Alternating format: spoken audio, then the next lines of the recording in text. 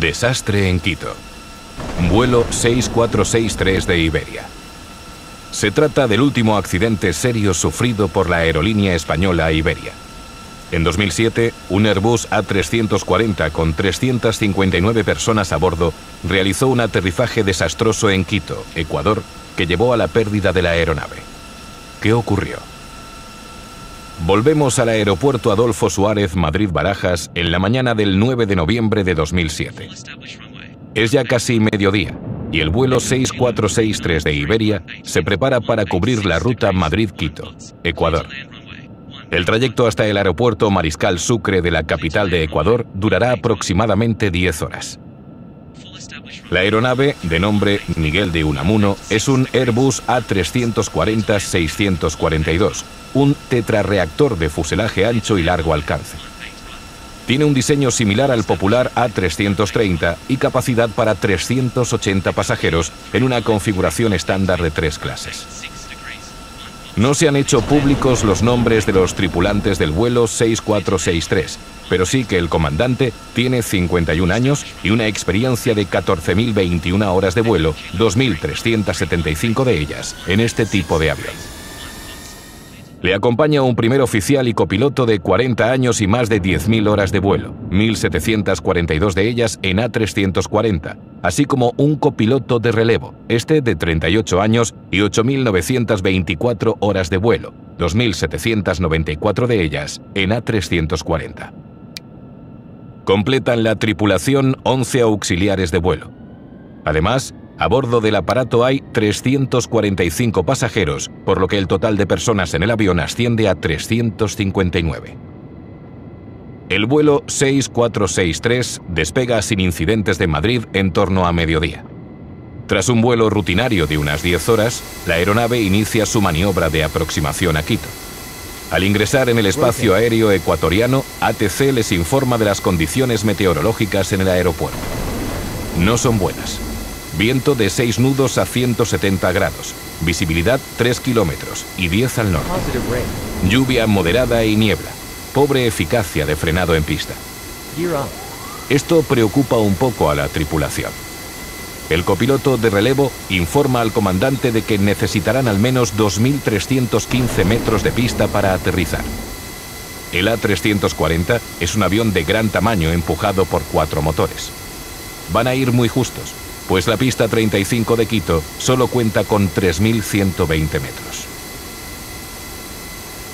21 a 50 horas UTC, 16.50 hora local. ATC autoriza a Liberia 6463 a dirigirse al Kit y continuar su descenso a nivel 260, 26.000 pies. Recordamos que el BOR es una de las radioayudas más usadas hoy en día en la aviación debido a su precisión. Tal y como he explicado en capítulos anteriores, se trata de un equipo que emite señales de radio que son interpretadas por los pilotos para volar a través de rutas definidas en las cartas de navegación de cada país. 21 a 53 horas. El Iberia es autorizado a realizar descenso de aproximación instrumental. Minutos más tarde, a las 22.03 horas, la tripulación comunica que ya ha interceptado el localizador ILS de la pista 35. ATC instruye a Liberia para que notifique pista a la vista. Se vuelve a informar de que la eficacia de frenado es pobre, por lo que el comandante configura en posición High el sistema automático de frenado, la más alta de todas. 22.05-25 horas. El comandante, siguiendo los procedimientos establecidos por Iberia, decide abandonar la trayectoria de planeo del ILS y capturar la senda del Papi. El indicador de trayectoria de aproximación de precisión, PAPI, por sus siglas en inglés, es un sistema de cuatro luces situadas a ambos lados de la pista de aterrizaje, a veces solo en el lado izquierdo, a la altura del umbral de la misma. Estas luces pueden mostrarse rojas o blancas y son visibles desde unos 8 kilómetros de día y 32 de noche. ¿De qué depende que aparezcan de un color u otro? Del ángulo de aproximación. En concreto, el color de cada una de ellas va a depender del ángulo de descenso. Si el piloto lleva un ángulo de descenso adecuado, se mostrarán dos luces rojas y dos blancas. En el momento en que vaya muy bajo, se pondrán tres de ellas o incluso las cuatro en rojo. Asimismo, aparecerán todas blancas en caso de ir demasiado alto. Existen otros sistemas visuales de ayuda al aterrizaje como son el BASI, Visual Approach Slope Indicator, y el OLS, pero se utilizan ya, mucho menos por no ser tan precisos. La aeronave continúa el descenso acompañado por los callouts del radioaltímetro. El vuelo 6463 de Iberia prosigue con el aterrizaje visual. El comandante va a los mandos. Los copilotos monitorean la aproximación. Es importante que toquen tierra lo más cerca posible del umbral de la pista para aprovechar al máximo la distancia de frenado disponible en la misma. Pero algo espantoso está a punto de ocurrir. 22.05.47 horas. El tren principal del A340 hace contacto con la pista a 200 metros del umbral de la misma, pero lo hace con tal fuerza que varias ruedas del tren revientan. El aparato no ha aterrizado, ha impactado y lo ha hecho con una fuerza de más de 3 Gs. Dicho tren principal y varios de sus componentes se rompen instantáneamente. También las barras LAL de ambos trenes principales y los motores quedan en posición up-idle. Los pilotos tratan desesperadamente de frenar el enorme avión que rueda a toda velocidad por la pista, pero es en vano. Las reversas no se activan y los spoilers no son suficientes para detener la aeronave. Por si todo esto fuera poco, los frenos de las ruedas tampoco funcionan. En la pantalla ECAM de la aeronave parpadea de forma insistente ERR Autobrake. 2206, 12 horas. Incapaz de frenar por los problemas técnicos que sufre y agravado por la pista mojada, el Iberia acaba saliéndose de la misma a una velocidad de 90 nudos, casi 167 kilómetros hora. Los pilotos contemplan, horrorizados, cómo se aproximan a las antenas del ILS. Van a chocar. La tripulación es capaz finalmente de detener la aeronave. Lo hace pasados 232 metros del final de la pista, pero no han podido evitar colisionar y llevarse por delante las antenas del ILS. Afortunadamente, no hay víctimas.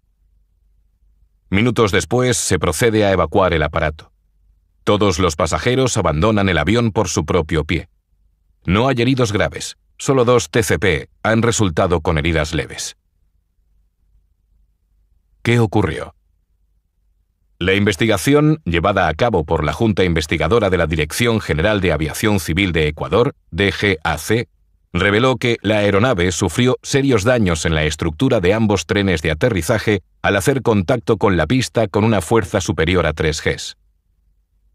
La fuerza G es una medida de aceleración basada en la que podría producir la gravedad de la Tierra en un objeto cualquiera. Lo equivalente a una fuerza de gravedad estándar es un G. En términos más técnicos, son 9,81 metros por segundo al cuadrado. En consecuencia, 3G es tres veces la fuerza con la que la Tierra atrae a cualquier objeto en caída libre. Una persona sin entrenamiento sometida a tal fuerza durante un minuto se desmayaría y a más de 16 Gs podría ser mortal. Volviendo al accidente, el aparato sufrió una fractura de su bogey beam. También se rompieron varias líneas hidráulicas, arneses eléctricos y cañerías. Sufrió asimismo serios daños en la parte inferior del fuselaje y en ambas alas. Todos estos fallos afectaron gravemente a los sistemas de frenado del avión y provocaron que las reversas no funcionaran al ser requeridas. Los desperfectos sufridos por el aparato fueron tan severos que Iberia decidió no repararlo y darlo por perdido. Fue enviado al desguace pocos meses después. Según el informe oficial, los pilotos no llevaron a cabo correctamente la fase final del aterrizaje. De hecho, sus acciones a pocos pies del suelo produjeron un incremento de la velocidad vertical de 4 pies por segundo, aumentando la tasa de descenso hasta los 1100 pies por minuto. La tripulación no debió iniciar y realizar la aproximación al aeropuerto de Quito, pues, con los datos conocidos del estado de la pista, condiciones meteorológicas y peso del avión, tendrían que haberla frustrado y practicar un go-around. Pero, ¿por qué una tripulación con experiencia cometió un error así? A la fecha del suceso, la tripulación no contaba con regulaciones y procedimientos operacionales específicos. El briefing del operador, Iberia, para el aeropuerto de Quito, no era adecuado a sus condiciones reales. También contribuyó al accidente el hecho de que la tripulación, aunque tenía experiencia aterrizando en Quito y aeropuertos similares, no había experimentado situaciones meteorológicas parecidas, circunstancia que le hubiese permitido elaborar una estrategia de aproximación compatible con las condiciones de esta operación.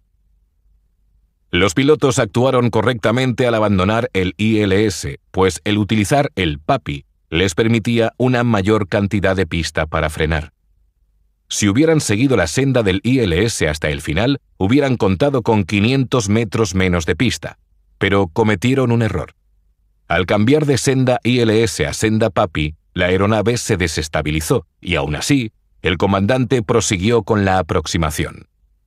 Esto llevó al aparato a situarse por debajo de dicha senda, lo que provocó que alcanzase una velocidad excesiva. Como consecuencia de ello, el Airbus realizó un aterrizaje tan violento que las fuerzas G generadas produjeron unos daños tan severos en la aeronave que imposibilitó que la tripulación pudiera detenerla dentro de la pista. Y a partir de entonces... A raíz del accidente del vuelo 6463, la Junta Investigadora de Accidentes de Ecuador emitió varias recomendaciones de seguridad, tanto para el operador como para las autoridades reguladoras, FAA y EASA.